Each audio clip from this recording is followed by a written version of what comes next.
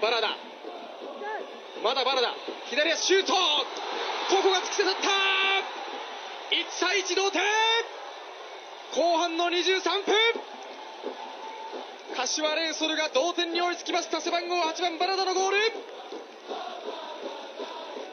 今シーズン初得点は1対1同点に追いつくゴールになりました。バラダ明美矢島さん素晴らしいゴールですねコースの狙ったね非常に落ち着いたシュートですよね。